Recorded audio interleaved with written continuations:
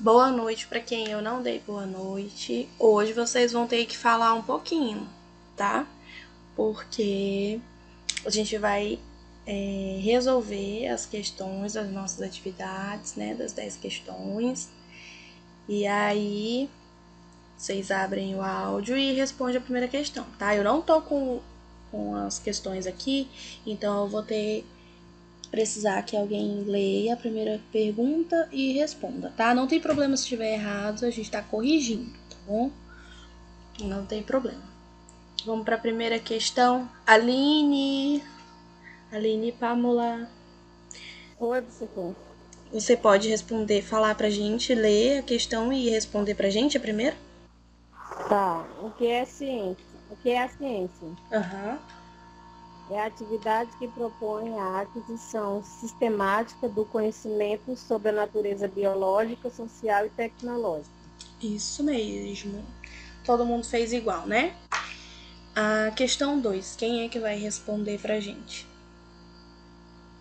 Fran, Fabrícia. É, qual a principal função da ciência, né? Uhum. É, o principal é o aperfeiçoamento do conhecimento em todas as áreas para tornar a existência humana mais significativa. Isso mesmo, a ciência está aí para a gente poder estudar, pesquisar, experimentar, tá? E dar é, uma importância, dar significado para todas as áreas do nosso conhecimento, tá? Pode ser física, pode ser química, na área da saúde, tá? Então essa é a principal função da ciência, né? Aperfeiçoar todos os nossos conhecimentos em qualquer área, tá bom? Questão 3. Naila, você fez? Fez. Diz pra gente aí a questão 3.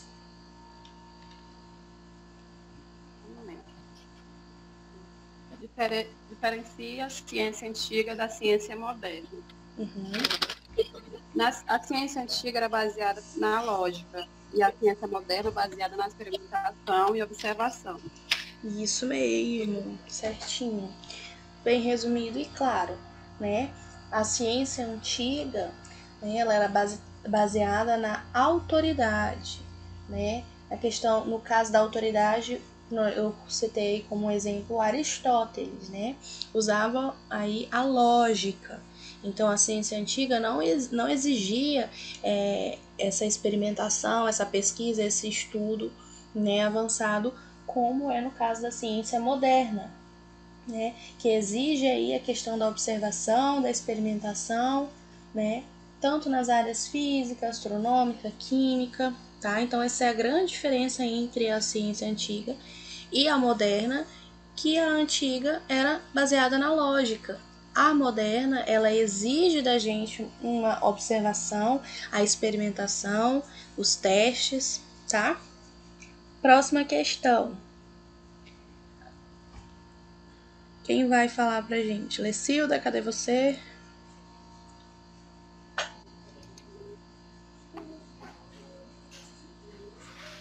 Cláudia.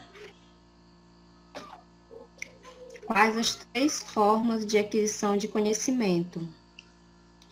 A intuição, empirismo e razão. Isso mesmo.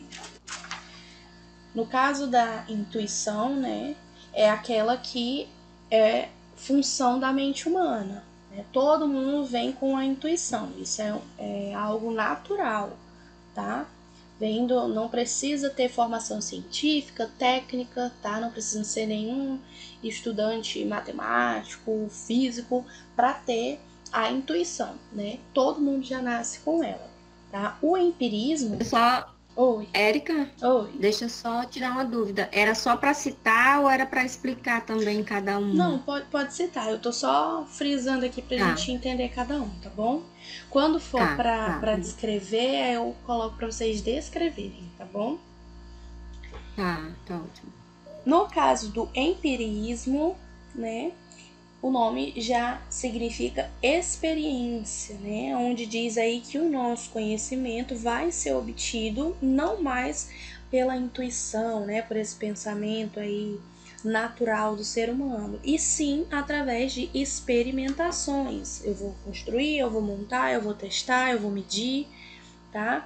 E a razão, né, é aquele que diz que o conhecimento ele vai ser verdadeiro somente quando ele é logicamente necessário e universalmente aceito, ou seja, todo esse trabalho, né, de observar, de experimentar, de ter a intuição, a razão, ela diz que só vai ser verdade se todo mundo conhecer e concordar, tá?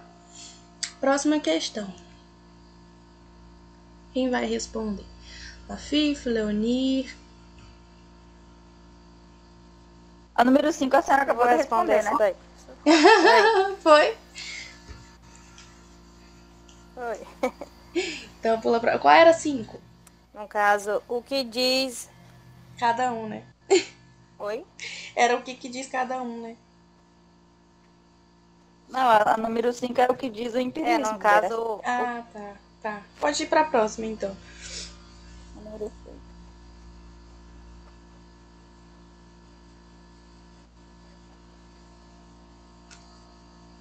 Qual é a outra depois de, de falar sobre o empirismo? É a diferença da ciência pura e da ciência aplicada, né? Isso, então. Eu acho. Qual é a diferença? É para eu responder? Pode ser, se você quiser. Ciência pura são os ideais, seu método é a, a dedução e seu crítico de verdade e a consistência ou não de seus anunciados. Todos os anunciados são analíticos, teoremas, portanto, ciência pura é a dedução e teoremas, e a ciência aplicada é baseada em observação e, e experimentação. Isso mesmo. A ciência pura são aqueles dos ideais, né, que são os teoremas, e as aplicadas são as observações e experimentações que estão aí predominantes nas sínteses, tá? Certinho, Leonir. Próxima questão.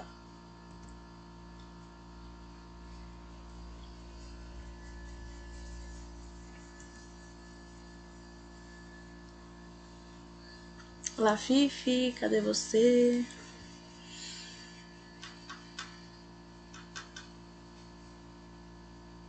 Cheguei, peraí.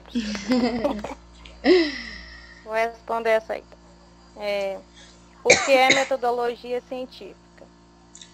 Aí eu coloquei. Não sei se está certo. Né? Uhum. É um conjunto de abordagens técnicas e processo utilizado pela ciência para formular e resolver problemas de aquisição objetiva do conhecimento de uma maneira sistemática. Isso aí. Metodologia científica. E a próxima questão, que aqui pergunta?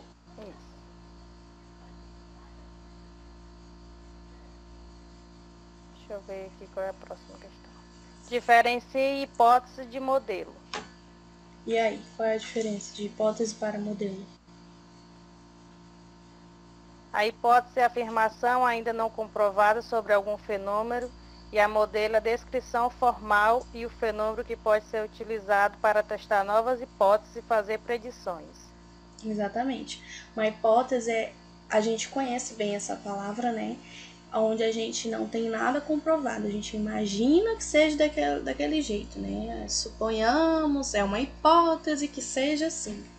Já o modelo, a gente vai descrever formalmente um fenômeno, né?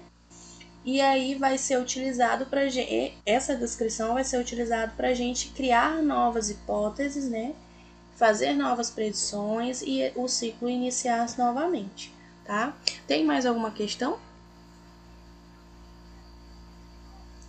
Tem mais duas, né? Tem mais Tem. duas? Qual é a próxima?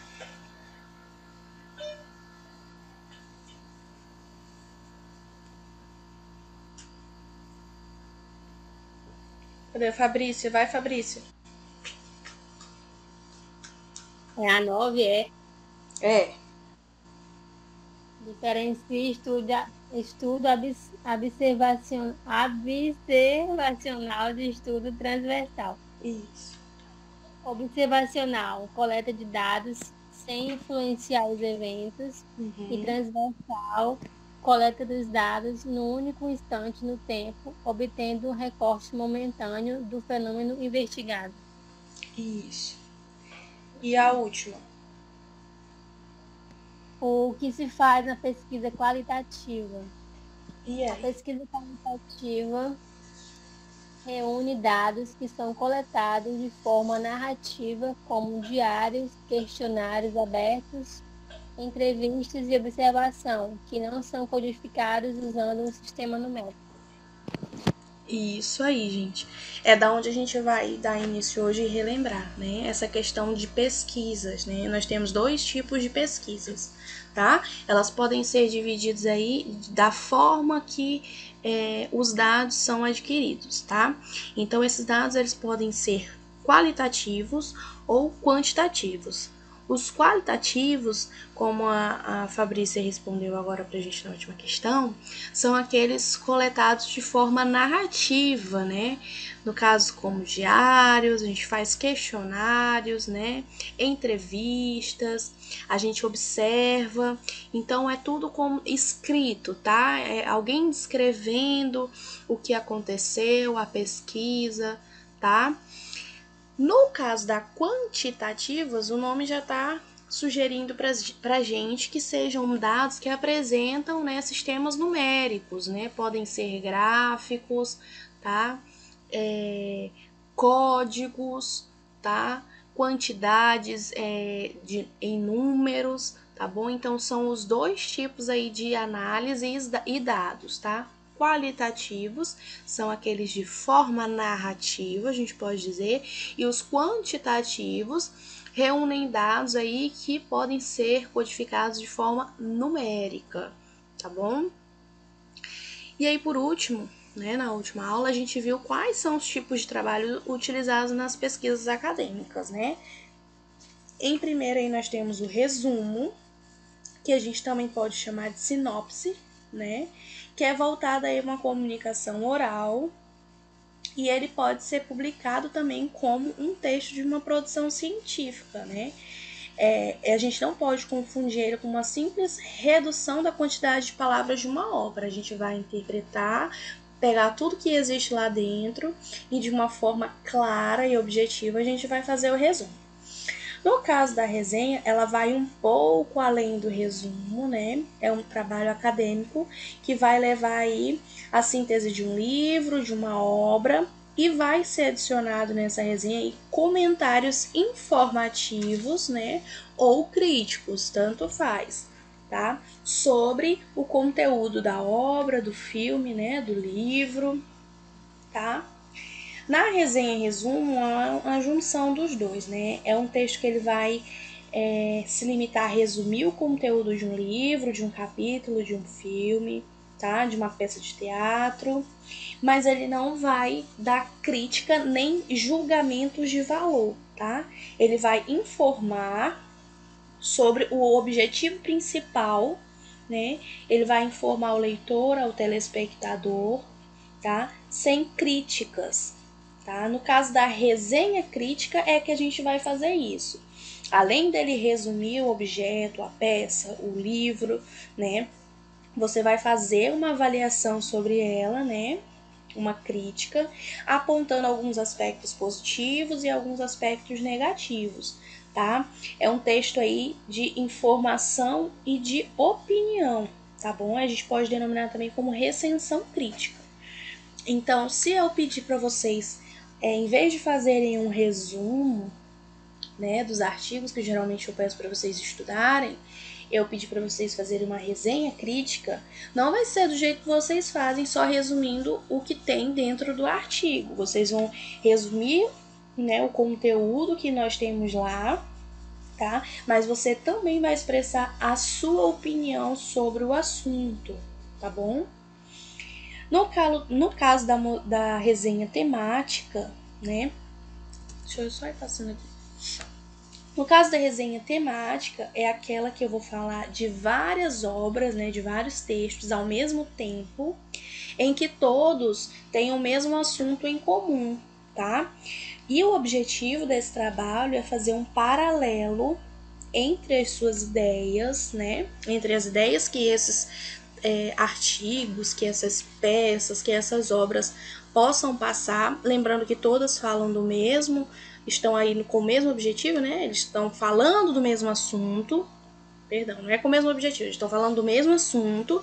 E aí, quando você vai fazer é, essa resenha temática, você vai ler todas as obras, as, ou assistir os filmes, ou as peças, não, não importa né, o objeto de trabalho.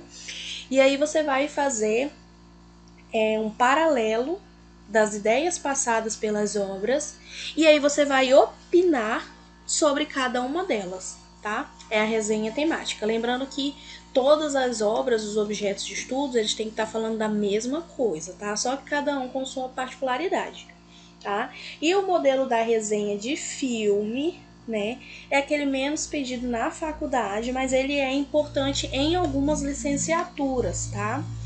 Geralmente, o objetivo dessa resenha é destacar algum aspecto teórico que esse filme vá passar, né? E relacionar esse aspecto com algum personagem do filme, né? Com o roteiro, tá? É o caso da resenha de filme.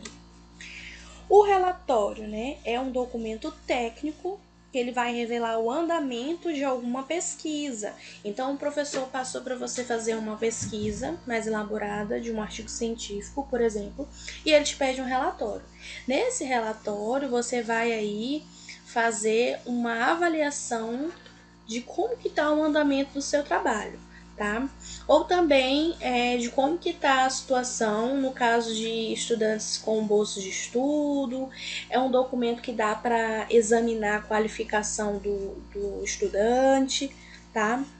O artigo, que é o que a gente mais está trabalhando, que eu passo para vocês, é um tipo de, de trabalho acadêmico aí, que é resultado de investigação, de testes, de pesquisas, né, diante de algum tema específico, né, de algum objeto único de estudo. Então a gente vê que os artigos eles sempre têm um objeto de estudo específico, tá? tá? A gente pode ver aí objetos de estudo é, saúde mental, né? A gente pode ver sobre Covid-19, a gente pode ver artigos científicos sobre geografia, a gente pode ver artigos científicos sobre matemática, sobre a sociedade, sobre cultura, né? Então, o artigo vai ser aí um trabalho né, que onde vai ser feita uma investigação, toda uma pesquisa, né, sobre algum tema específico, e aí é feito aquele trabalho através de investigação, pesquisa de um único assunto, tá? E acho que é o último. É, o memorando. É o memorando, assim como os outros gêneros, né, ele tem uma finalidade discursiva específica, né, e é constituído de alguns traços distintos. Geralmente o memorando ele é utilizado aí é, nas empresas, né? Tem uma linguagem breve, precisa, direta, tá? Que ela visa aí uma comunicação, né, é, entre as empresas no meio comercial. A gente é como se é um documento, como se fosse não, é um documento aonde de forma clara, precisa, eu vou estar tá informando o que eu quero passar. Por exemplo, lá no CTA, quando eu é, tô fazendo o planejamento de aulas para vocês, eu fiz, eu tive que confeccionar um memorando, né?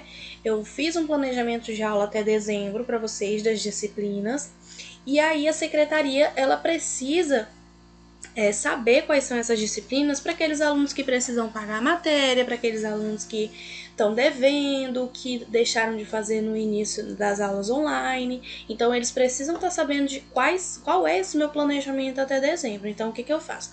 É, eu preciso fazer, né, ter uma informação rápida, precisa, objetiva, que é dizer, olha, de tal dia a tal dia eu vou fazer essa disciplina, no próximo mês é essa e depois é essa, e a última vai ser essa até dia tal de dezembro. Então eu fiz um memorando, um documento rápido, preciso, objetivo, tá? Para poder enviar para a secretaria. Então foi uma forma de comunicação no nosso meio lá empresarial tá bom? E aí, por último, a gente viu sobre a normatização, né? O que, que é a normatização? São aquelas normas que, são, que foram colocadas aí é, pela ABNT. O que, que é a sigla ABNT? Associação Brasileira de Normas Técnicas, tá? Ela vai estabelecer aí algumas normas que a gente tem que fazer né, nos nossos trabalhos acadêmicos, nos, nos nossos documentos, nos livros, nos relatórios, tá?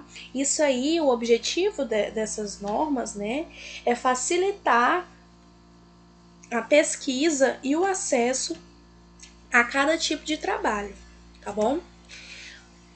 Dentre essas normas, a gente tem até qual papel usar, qual a fonte usar, o tamanho, tá? Quando que a gente utiliza itálico, quando que utiliza sublinhado, as margens, os parágrafos, tá? O formato sempre a gente vai utilizar papel A4 na cor branca, tá? A fonte vai ser essa daí, Times New Roman ou Arial, em tamanho 12. Porque a gente pode colocar o tamanho que a gente quiser. Então, acho que a maioria aqui já fez trabalho no Word, né? A cor sempre preta, né? E aí a gente vê a questão de citações de, de, de literaturas, né? De artistas, tá? É, a gente vê que tem que ter aí as notas de rodapé, tem que ter legenda, né? Quando a gente tem tabela, a fonte tem que estar tá no tamanho 10 dentro das tabelas, tá? Letras em itálico, a gente vai usar isso somente em palavras de outros idiomas, né? Quando a gente tem que colocar lá uma palavra em inglês, uma palavra em espanhol, a gente não deixa a palavra que seja de outro idioma igual às outras palavras que a gente fez. A gente coloca em itálico, que é aquela letra mais deitadinha, tá? A questão da margem, a margem tem que estar tá, é, direita inferior a 2 centímetros, ou seja, a distância entre o final da folha né, e aonde começa o que está escrito é de 2 centímetros do lado direito e na, na, na parte inferior, né? É, do lado esquerdo e superior, no caso, são 3 centímetros. E a questão de parágrafo e espaçamento entre uma frase e outra tem que ser de 1,5 centímetros, tá? Entre as linhas aí. Aí hoje a gente vai ver como que a gente faz essa formatação meio que na prática, na medida do possível, tá? Quem tiver o computador aí do lado, abre aí no Word. Alguém tá com o computador vai me acompanhar nessa aula? Ou vai ser só por aqui mesmo, para eu já ter uma ideia se eu posso ir mais rápido ou mais devagar? Tem alguém com computador aí? Professora, eu tô aqui com o computador. Eu tô também. Quem foi que disse eu tô também? Eu, Cláudia. Ah, tá. Beleza. É, Cláudia, tu que, tá, que trabalha na, né, nessa área aí de na clínica e tudo, já fez formatação de trabalho? Já sim. Beleza. Então, ó, primeiro a gente vai configurar né, o nosso computador. Gente, quem não tiver com o computador do lado não tem problema. Tem o, printzinho aqui né, na tela como que vai aparecer caso você esteja fazendo no computador, tá? Formatação de capa e contracapa. Primeiro a gente configura o trabalho para que quando a gente comece a digitar, tudo fique do mesmo jeitinho, tá? Primeiro a gente vai configurar as margens sugeridas pelas normas, que foi aquelas que eu acabei de citar no slide anterior, tá? A margem direita e margem superior a 3 centímetros e a margem esquerda e inferior a 2 centímetros. Como que vai aparecer? Você vai abrir o Word lá no seu computador. E em cima, deixa eu colocar o ponteiro. Lá em cima, ó, tá vendo aqui em cima onde tem o documento 2? É o nome do documento que eu tava, fiz de exemplo lá para vocês. Tem inicial, inserir, aí você vai clicar em layout da página, tá? Clicando aqui vai aparecer várias opções. Você vai clicar em margens, a gente tá configurando a questão das margens. Tá vendo o desenhozinho aqui, ó? É a distância aí que eu sou meio. Tá. Tá. Acharam quem tá com o computador aí, layout da página? Já. clique em Layout. Aí você vai clicar aqui em Margens. A gente está configurando as margens do nosso trabalho.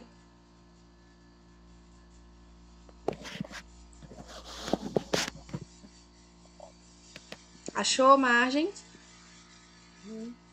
Beleza. Aí vai aparecer esse outro quadrinho que está aqui bem na frente do, nosso print, tá? Você vai selecionar aí, ó. Dá para você escrever ou modificar aqui na, nessas setinhas para cima e para baixo. Superior você deixa 3 centímetros. Esquerda você deixa 2 centímetros. Inferior 2. Direita 3. A ordem vai ficar assim: 3, 2, 2, 3. Quando vocês terminarem, as minhas estão fazendo, avisem, tá?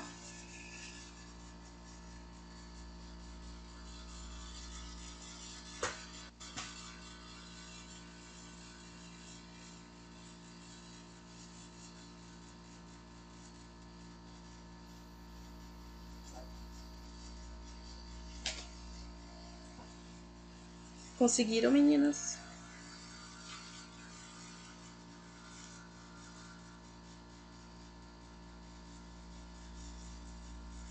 Conseguiu, Fabrício? Peraí. Layout da página, lá em cima. Margens. E aí escreve. Superior é 3, esquerda é 2, é. Isso. Fica 3 no superior, 2 na esquerda, 2 no inferior, 3 na direita. Colocou essas, essas, esse número, né, esses centímetros aí, essa configuração das margens, aperte em OK. Pronto, sua margem está configurada. Segundo passo. Logo após a margem superior da sua capa, a gente tem que colocar tudo em caixa alta e colocar o nome da instituição, tá? Por exemplo, eu fiz o CTAC.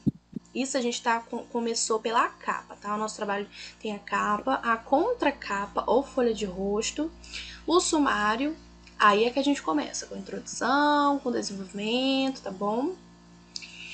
Beleza, na nossa capa, a gente tem que escrever em caixa alta o nome da instituição para quem você está fazendo o trabalho. No caso de a maioria das instituições, né, no caso todas as instituições, são as siglas.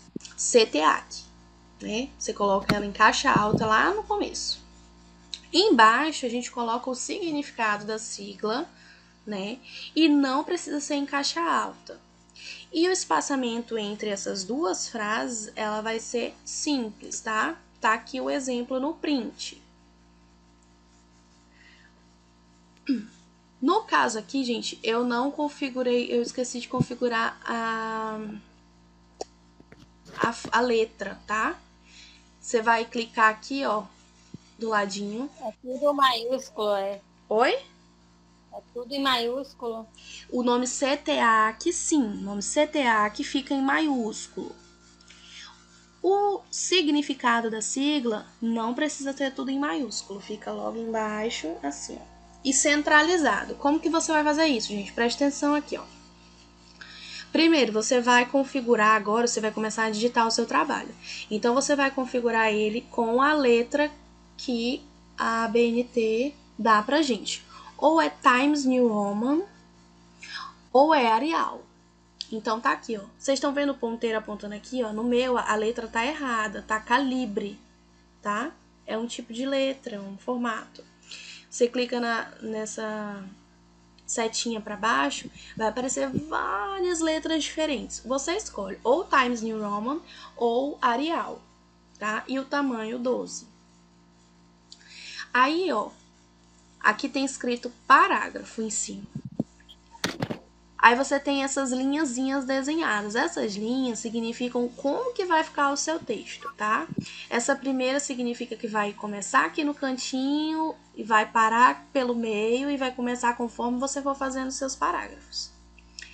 Essa daqui é onde a gente vai deixar clicado, ó. Tá vendo que tá alaranjadinho?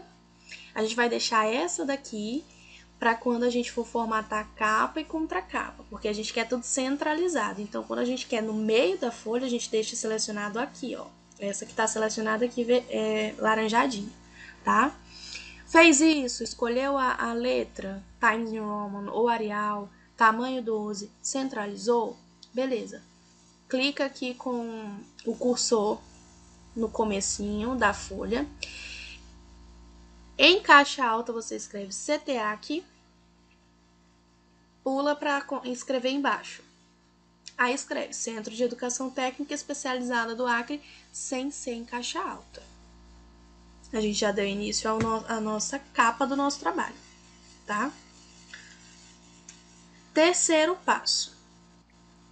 A gente faz o nome da instituição, em seguida a gente coloca o nosso nome, tá?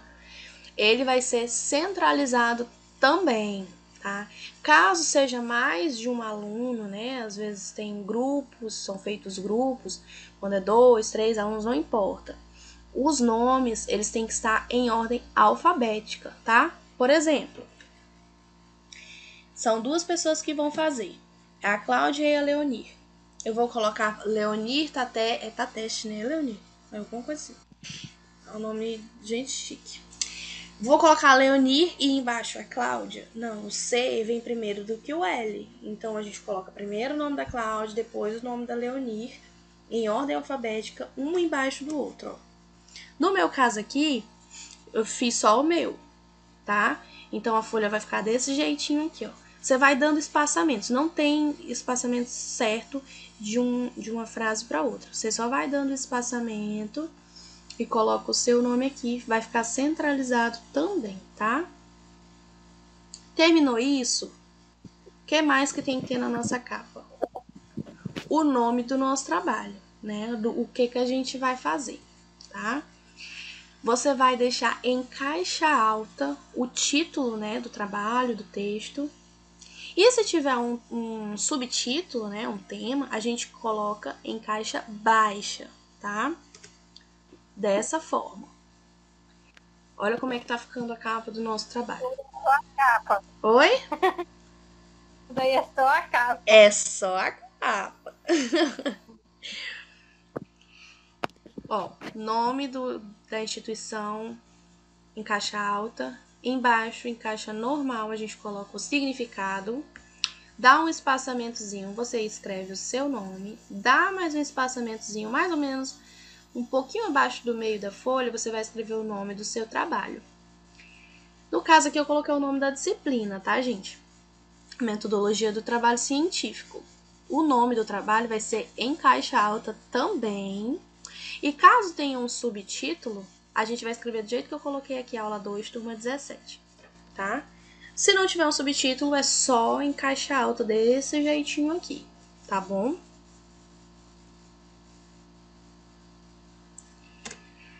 Por último, na nossa capa, né, a gente deixa a cidade e o ano do nosso trabalho também centralizado. Olha como é que fica. Dá um espaçamento nas duas últimas linhas, a gente escreve a cidade e o ano, tá? Lembrando que é tudo centralizado.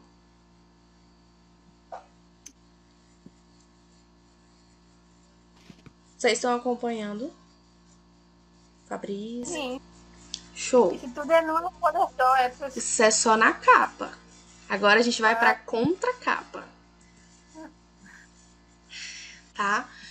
Na contracapa, não vamos não a gente não vai mais colocar o nome da instituição.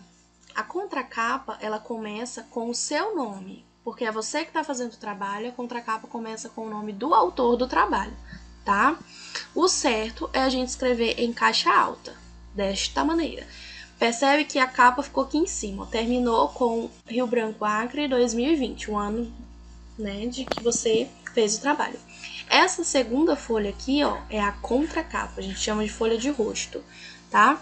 E aí a gente vai iniciar ela não mais com o nome da instituição, o nome da instituição vem somente na capa, na primeira folha. Na segunda, a gente inicia com o nosso nome, né, que foi a gente que fez o trabalho, em caixa alta, tá? Depois você coloca o título do seu trabalho novamente, tá? E se tiver subtítulo também, com espaçamento simples entre eles. Olha aí, ó. O nome de quem fez o trabalho na segunda folha, dá um espaçamento. Lembrando que sempre tá aqui, ó, centralizado. Capa e contracapa é nessa seleção aqui, ó, centralizado. Aí o nome do trabalho em caixa alta também. Se tiver um subtítulo, em caixa normal embaixo. Pronto.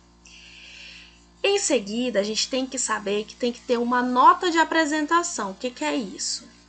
Eu vou explicar de maneira breve, né, que tipo de trabalho que eu estou fazendo Vou definir se ele é acadêmico, se ele é para conclusão do meu curso, se ele é para obtenção de nota, se é apenas uma monografia, né? E essa pequena apresentação, ela vai estar tá em tamanho 10, justificado e alinhado à esquerda, tá? Ou com recuo à esquerda 7 centímetros, vocês não se preocupem com isso, tá? É fundamental que esteja nessa pequena apresentação o nome do professor, né? Ou aquele que está orientando no caso de trabalhos é, de monografia, né? De TCC. O que, que é isso? É essa pequena apresentação aqui do lado, ó. Agora você vai colocar, ó. Cadê? Justificado, gente, é porque eu não coloquei no print ali. É essa opçãozinha aqui, ó onde fica tudo certinho. Só que agora, essa parte aqui é um pouquinho mais complicada de vocês fazerem, mas eu ajudo vocês. É mais fácil amanhã no CTA de manhã. Quem tiver dúvida em fazer essa parte aqui, manda mensagem que eu vou fazendo junto com vocês no computador do CTA, que vou mandando, tá bom? Para vocês aprenderem a fazer. No caso daqui, ó, a gente sempre o textinho é mais ou menos o mesmo sempre, tá? A gente coloca que é um trabalho como requisito para a obtenção de nota, né? Então, eu montei essa, essa frasezinha que fica mais ou menos assim. Trabalho apresentado como requisito parcial, ou seja, faz apenas de uma parte, né, da nota, para obtenção da nota na disciplina de metodologia. Lembra que eu falei lá que é muito importante, ó, pôr o nome do professor que está te orientando.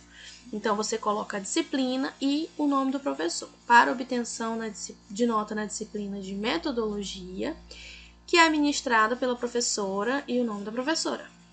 Tá? Pode ser o meu, pode ser outro professor que tenha passado o trabalho para você. Então, sempre os trabalhos dos novos ABNT, eles têm que ter isso daqui, ó, como se fosse um resuminho sobre o que, que é o seu trabalho, quem que tá passando, tá bom? Para que, é que ele vai servir. E por último, na contracapa, também, tá? A gente coloca ano e cidade da que você tá fazendo, do mesmo jeito da capa, tá? Dá o espaçamento nas duas últimas linhas. Na penúltima você escreve a cidade e o estado. Pula mais uma linha, aí embaixo você coloca o ano. Se você pular mais uma linha aqui, você vai passar para a próxima folha, tá? Então é sempre no finalzinho. Aqui a gente aprendeu como fazer a capa e a contracapa, tá, gente? Todo mundo conseguiu fazer aí? Tá faltando alguma coisa? Não, acho que não. Conseguiu, Leonir?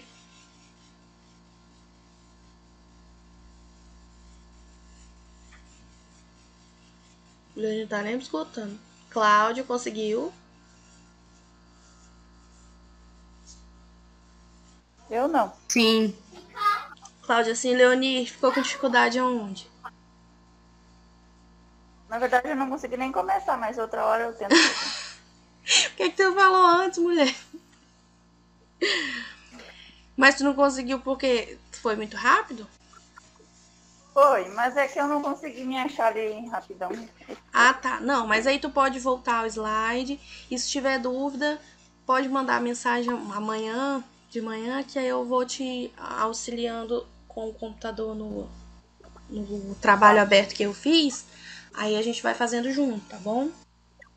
A aula vai ser mandada amanhã no grupo, não? Assim que o, o, o rapaz conseguir me enviar, eu envio para vocês no grupo, tá? É porque ele deu uma atrasada e aí ele tá meio aperreado, que ele faz, ele Trabalho faz de todo mundo. até quando? Oi? Trabalho aí tem que entregar até quando? O trabalho eu dou o prazo até o dia da prova, tá? Então até o dia primeiro vocês podem estar enviando todos os trabalhos. Não precisa correria não, tá bom? É sobre esse assunto aí mesmo, né? O quê? Esse trabalho que a senhora está ensinando pra gente fazer é sobre esse assunto aí, né? Eu tô ensinando como é, configurar para vocês fazerem o trabalho, tá? O primeiro que eu passei ontem foi um questionário sobre a parte teórica de ciência, tá? Que é o primeiro que vocês têm que fazer. E uma pesquisa de artigo científico, que eu expliquei para vocês como é que faz a pesquisa, né? Lá no site que eu enviei no grupo, www.cielo.org.